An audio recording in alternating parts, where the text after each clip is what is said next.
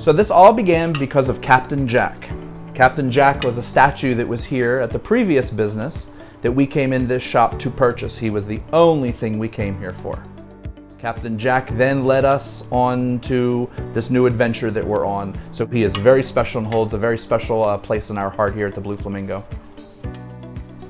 So we opened in 2018 with the dream of having a gift store and also allowing local artists and upcyclers and recyclers and pickers to have a home where they can sell their products.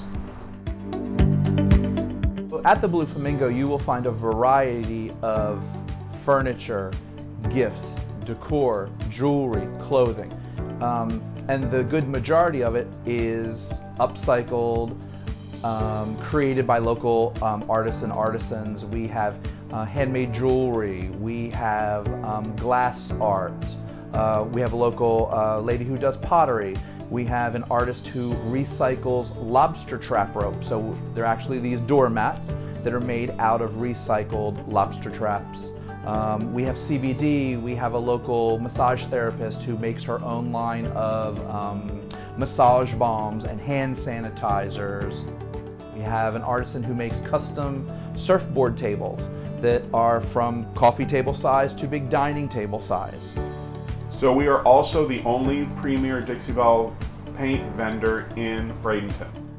And this paint is allows you to paint furniture, clothes, linens, uh, anything you want, glassware, without a lot of prep and just allows you to really experiment with color and brighten up your home.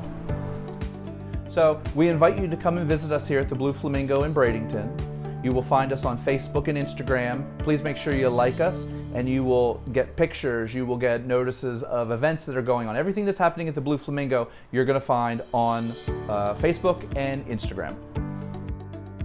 So come by and visit the Blue Flamingo at 4229 26th Street West in Bradenton. We hope to see you soon.